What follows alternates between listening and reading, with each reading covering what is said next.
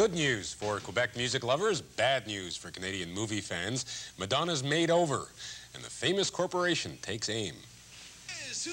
Almost 13 million TV viewers in Britain tune in weekly to see the royal family make fools of themselves. Henry, may God bless him and all who sail in.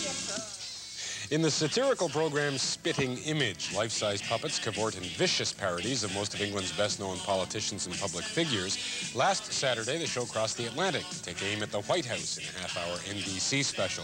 The story featured a secret group called the Famous Corporation that controls the country. And even though the show's creators tried to tone down some of the caricatures, it's unlikely that those in the American heartland were pleased with this perception of the president.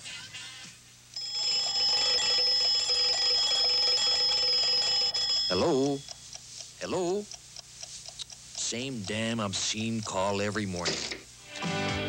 That's the sound of Musique Plus, the new video network that started this week on Quebec Pay TV. For French language musicians, this francophone cousin of English Canada's Much Music might just help boost a business that's been hitting some sour notes lately. Although the idea of Madonna as a missionary in her current film Shanghai Surprise is stretching the imagination a bit too far, there's no doubt her new image isn't hurting record sales. Her album's number one in countries from Belgium to Hong Kong, and her Marilyn Monroe makeover seems to have satisfied her fans as much as her marriage to the lovable Sean Penn. This week, pay TV operators finally got what they wanted from the CRTC, a cut in the amount of Canadian content they're required to broadcast. Critics say that means more Arnold Schwarzenegger and Jessica Lange and fewer homegrown movies. And to talk about these stories in entertainment, here with me broadcasters Mary Ambrose and Anne Petrie in Winnipeg. Hi, I've missed you. Hi. well, we missed you too, Valerie. Oh, thanks, but you were great. Anyway, um, CanCon on pay TV, is this just giving up on the ideal? Well, I think it's really an unfortunate time to do it. It's a year before these guys renew their licenses. They, I mean, this was the amount of Canadian content they said they could do. They're making money. There's no reason to believe that they're going to up it back up to 50%. I, I think it's, it just it doesn't bode all that well. And given that the other broadcasters are going to come in for application to renew their licenses, like CTV, who has been hopeless with Canadian drama, it just, the sort of deregulation part kind of makes me a little bit nervous. I don't know why they couldn't have at least waited. I don't know why they can't restructure it as opposed to reduce the content, why they can't allow, for instance, pay TV to buy their own Canadian productions, which they can't do now. I just, it just seems a little nervous making for the, you know, the Canadian arts community, I think. Okay, Anne Petrie, Madonna. Her movie yeah, is opening, but I like her record album. Well, I like her record album. I'm, I'm thankful. I am so grateful for the new look. I am glad we do not have to wear the crucifixes and the torn clothes anymore. Now it's Marilyn Monroe capri pants and little moles on our faces. That's very big.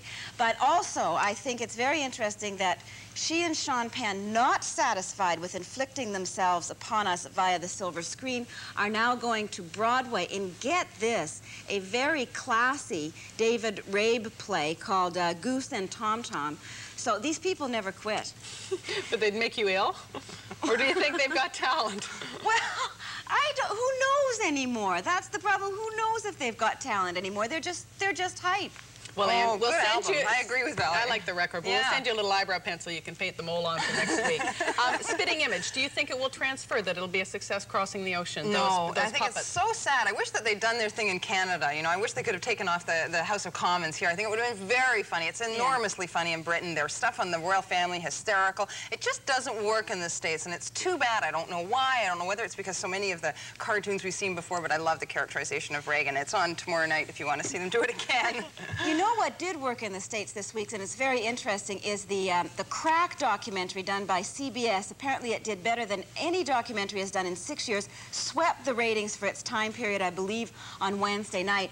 And uh, if, you, if you look ahead and see the kind of documentaries that are coming up from the major American networks, they are all doing these crack documentaries. Or about, about drugs. Drugs is Yeah, drugs. Thing. It's going to be the sexy subject uh, as far as documentaries go for and I think it's, uh, yeah. 1986-87. Yeah, and it's going to, in fact, go into the drama. Sophia Loren's coming out with a thing in the end of September about being the mother of a drug addict. I mean, I think you're right, and it's going to, we're going to be mining this topic for quite a while. Yeah, well, you, you, know what? Nancy Reagan actually phoned Dan Rather after this thing and told him what a good job it was. that makes you wonder, actually, how good the show was. Well, you know, I heard mixed reviews on it, but you're right. If it did well, then there's sure to be imitators. Well, and everybody knows the position, right? I mean, nobody's pro-drug addict. Okay, yeah, so it's easy yeah. to do. Yeah. Lovely to see you both.